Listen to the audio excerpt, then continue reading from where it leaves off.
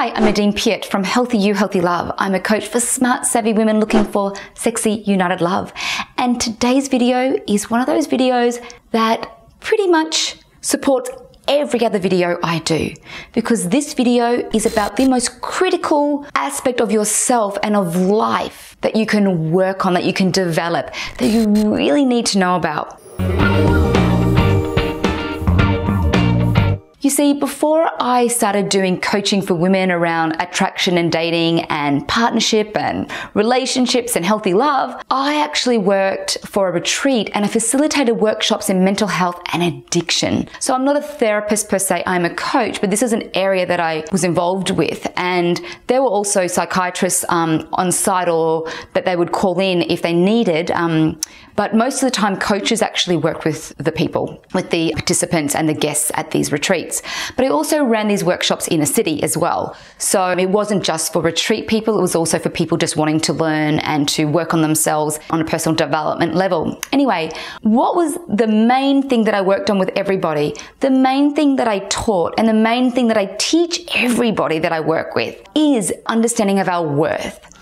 Because this is the most critical sort of aspect of ourselves that when we understand it, when we get it, when we believe in our worth, when we understand our worth, life just gets easier. When we understand um, how we rate ourselves against others, how we've perceived ourselves against our family, friends, even celebrities, when we see that we rate ourselves and we're constantly comparing ourselves, we're playing a worth game and an ego game. And because of that, we end up miserable. And the thing is, in life, we can always improve. We could all, there's always going to be someone prettier or uh, taller or smarter than us. That's life. But when we know our worth, it doesn't affect us as much, not nowhere nearly as much.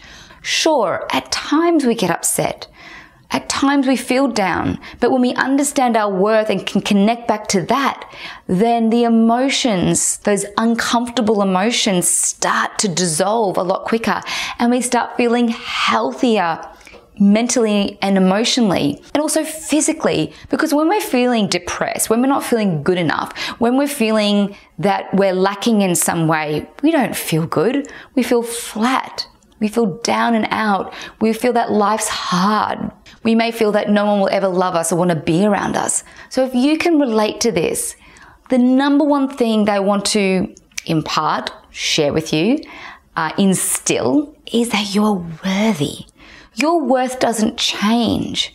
The day you were born, conceived, thought of, you are worthy of everything that you desire. You are worthy of respect. You are worthy of kindness. You are worthy of being heard.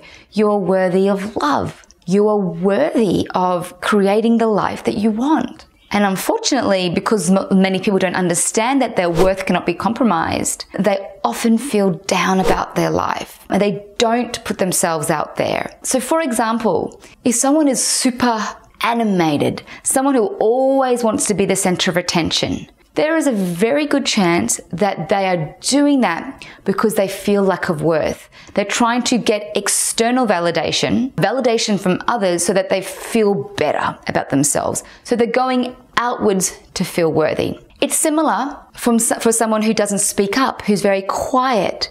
Now, sure, there are some people that are more introverted and extroverted, but an introvert isn't necessarily someone who doesn't speak up for themselves. There's a bit of a confusion there in society about what it actually means to be an introvert. An introvert doesn't mean that you're a pushover. It just may not, it may mean that you're just not a big personality. But I'm talking about someone who's super shy, super insecure. The reason why they don't speak up is because if they were to speak up, if they were to express themselves socially, if they were to have an opinion, they are so scared of being rejected in some way, their opinions rejected, their advances re- being rejected, their wants, their suggestions being rejected, that they would rather say nothing than feel even more miserable, even more useless. Because if someone was to reject their suggestion, then it would potentially make them feel that they're even less worthy. And so they keep quiet so that they don't have to feel any less than they already do.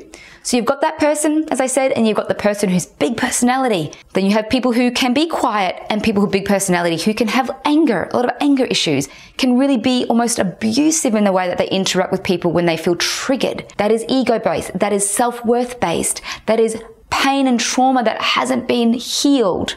Um, that needs to be healed so that they can actually articulate what it is that they want, need, and desire in life so that they can articulate their boundaries with more confidence, so that they know that they're not less or more, irrespective of how the other person responds to their request. So, this video today is about you knowing that you are not less or more any day of the week. You're not less or more than anyone else any moment of the day. You are not less or more than your sister, your girlfriend who gets more attention maybe than you sometimes. Your sibling who's really amazing at maths and you're really great at art and in your family academic interests were more revered, were more seemed more valuable and because of that you feel that something is wrong with you that you're not smart enough and you might be very academic, you feel like you may not gel with your family, that you may not be on the same page as your family and because of that you feel less than.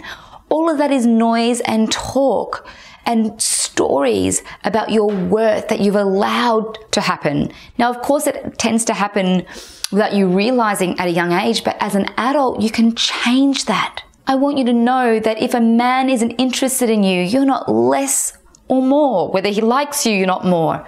You're not less or more whether you're 10 kilos heavier or 10 kilos lighter. You're not less or more whether you're arty or academic. You're not less or more whether you're blonde or brunette. You're not less or more whether you're, you know, five foot eight or five foot one. The same goes for everything in life. This constant comparison is going to eat you alive and it needs to stop. But this is not about wronging yourself. This is about observing and seeing what you're actually doing because a lot of this stuff that we do, a lot of this um, rating our worth actually is happening subconsciously. For some people, they're more aware of it, other people aren't aware of it, but we're doing it all the time. Our reactions, particularly the ones that aren't so positive or effective, often ego driven, which links to our understanding of our worth. So know that no one can take away your worth. You were born 100% worthy 24 7.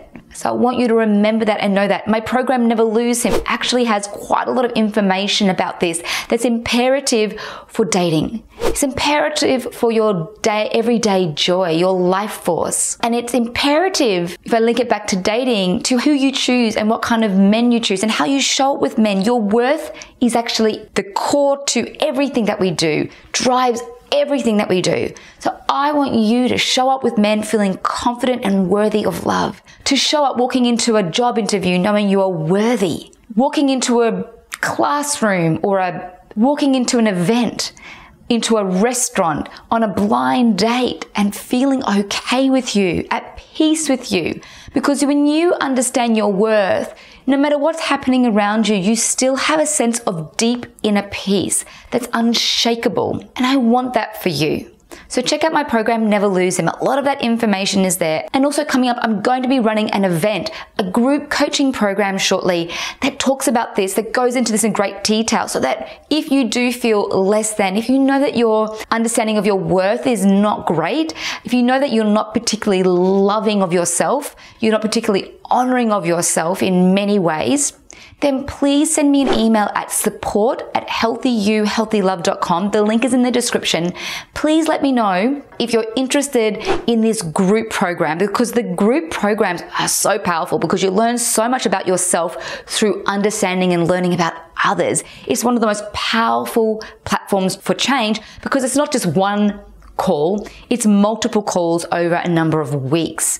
So please do reach out. Let me know. I want to find out about you and what your needs are, what I can help you with so we can actually allow this year to be the most incredible year for you. So there you go. I want more for you. I want you to feel that inner peace. Well, that's all for the moment, so please do email me. I'm Nadine Piat. I'm from Healthy You, Healthy Love. Please subscribe, give this video the thumbs up, and please share it with a friend. If you know a friend really lacks a lot of self confidence and self worth and self honor and self love, and struggles in dating, in life in general, and has anxiety and feels, you know, depressive a lot of the time, then this is the video that they need to see. Thank you for being here with me. I value you and I look forward to seeing you at my next video.